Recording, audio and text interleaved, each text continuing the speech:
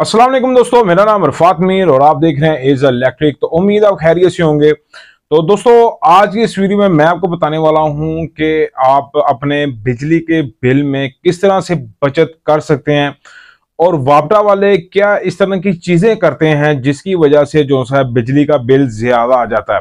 क्योंकि per unit जो cost है, इस टाइम 50 या 50 प्लस से जानी है। ऊपर इस टाइम तो पचास रुपये यूनिट हो गया है। कुछ लोग कह रहे थे कि सिक्सटी फोर रुपीज़ हो गया है। तो ये तो ऊपर जाना जाना है, इसको आप कंट्रोल नहीं कर सकते। अगर आपका सौ यूनिट भी है तो समझ लें कि छह हज़ार चार सौ रुपया वो आपका बिल आ गया। उसके बाद जो से अदर टैक्सेस हैं आई टैक्स हो गया टेलीविज़न के टैक्स हो गया, कोई जीएसटी हो गया, या इस तरह के जितने भी आपके टैक्सेस हैं, वो आपको अदा करने ही करने हैं। तो यानी कि अगर आप 100 यूनिट चला रहे हैं तो आपका 10 से पंद्रह हज़ार रुपए बिल कन्फर्म है। लेकिन कुछ चीज़ें मैं आपको बता रहा हूँ कि आप इससे किस तरह से बच सकते हैं। तो दोस्तों, चैनल को सब्सक्राइब करें, लाइक करें वीडियो को ताकि आपको इस तरह की इंफॉर्मेटिव वीडियोस मिलती रहे। तो वापटा वाले क्या करते हैं, अगर आप देखेंगे कि अगर इस दफ़ा जो चल रहा सिस्टम कि जो बिल की रीडिंग जो वापटा वाले हैं, वो तकरीबन अगर आपके बिल पे भी मेंशन होता है कि वो पंद्रह तारीख है तो वो आपके रीडिंग लेने के लिए आएँगे, बीस तारीख को आएँगे या बाईस को आएँगे या पच्चीस को आएँगे। अब इससे फ़ायदा किसको होगा? आपको नहीं होगा, वापटा वालों को होगा। उसका भी फ़ायदा क्या होगा? अब फ़ायदा ये होता है कि अगर आप 100 से 100 यूनिट इस्तेमाल करते हैं तो आपको पर यूनिट जो सा तकरीबन 22 से तेईस रुपए पड़ता है। अगर आप 100 से 200 यूनिट पर जाते हैं तो तैतीस रुपए का पड़ता है, या इससे भी ज़्यादा अगर आप इस तरह 300 टू 400 और 400 टू 500 तो इस तरह अगर आप यूनिट ज़्यादा इंक्रीज कर देंगे तो क्या होगा कि वापटा वालों को क्या फ़ायदा होगा? वो आपसे ज़्यादा बिल चार्ज करेगा। क्योंकि बिजली की तो खपत उतनी है। बिजली तो पीछे से उतनी सप्लाई हो रही है। लेकिन आपको नुकसान क्या होगा कि जब वो रीडिंग लेट लेकर जाएगा तो क्या होगा कि आपके 300 से ऊपर ज़्यादा यूनिट ज़ाहिर सी बात है, जब ज़्यादा दिन ऊपर होंगे तो यूनिट ज़्यादा चल जाएँगे। लेकिन वो ये नहीं करेगा कि वो रीडिंग आपकी पीछे लेके जाएगा। पिछली रीडिंग तो लेकर वो जा नहीं सकता। लेकिन वो आपकी जो आउटस्टैंडिंग है, वो आपके ऊपर डाल देगा। यानी कि अगर आपने 100 यूनिट किए हैं तो वो तकरीबन अगर 50 ऊपर हो गए हैं तो इसका मतलब है कि 100 यूनिट तक आपको बाईस रुपए पा रहे थे। लेकिन क्या हुआ कि 100 से जो इस तरह ऊपर यूनिट गए, वो सिर्फ़ छह या सात दिन ऊपर चले गए।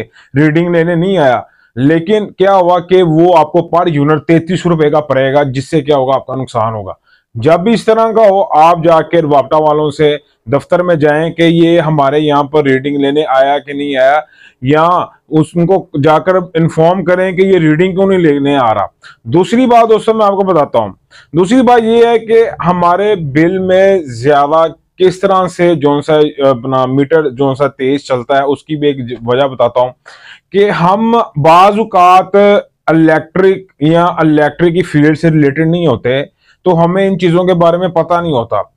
अब पता किस तरह चलेगा जब आपको इसका इलम होगा। आपने हमेशा अपने क्योंकि इस दफ़ा आप चल रहे डिजिटल मीटर क्योंकि जो डिस्क मीटर था एनालॉग मीटर उसमें ये कोई खासियत नहीं थी।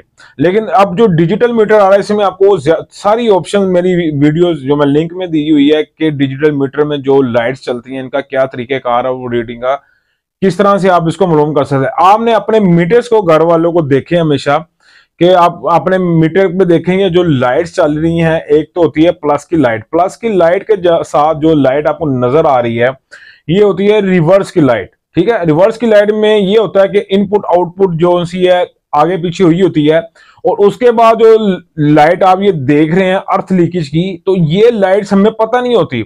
तो हमारा बिल ज़्यादा आ जाता है, हम भी पे करते जाते हैं कि यार हम तो इतना चला नहीं रहे, फिर बाद में हम कहते हैं, यार हमने तो इतना हमारा तो एक पंखा चल रहा है, हमारी तो एक ट्यूबलाइट चल रही है। तो हमारा बिल इतना ज़्यादा क्यों आ रहा है? तो इस वजह से आ रहा है क्योंकि आपको इलम नहीं है। तो इलम किस तरह से आएगा? जब आप अपने मीटर को देखेंगे कि यार अर्थ कहीं हमारी लीकेज तो नहीं कर रही, और उसके बाद आप देखेंगे कि यार ये रिवर्स वाली जो ऑप्शन चल रही है, यानी कि ये करंट रिवर्स तो नहीं हो रहा तो इस वजह से भी आपका मीटर ज़्यादा चलता है।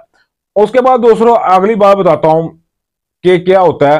कि जब आप आपके जो पीछे से वापटा से जब आपके वोल्ट कम आएँगे फॉर एग्ज़ाम्पल 220 वोल्ट आने चाहिए 230 आने चाहिए ज़्यादा से ज़्यादा।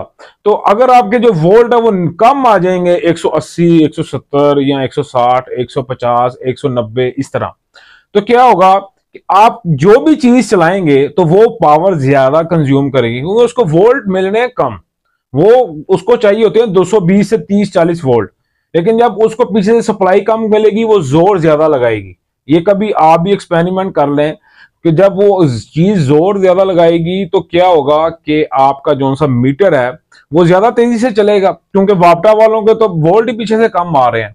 तो कोशिश किया करें अपना इस चीज़ को भी देखें, तार अच्छी डलवाएँ मीटर जब आप लगवा रहे न्यू तो आप मीटर अपना जो है वो अपना तार अच्छी लगवाएँ ताकि आपके जो पीछे से वोल्ट है करंट है, वो तो पूरा हो।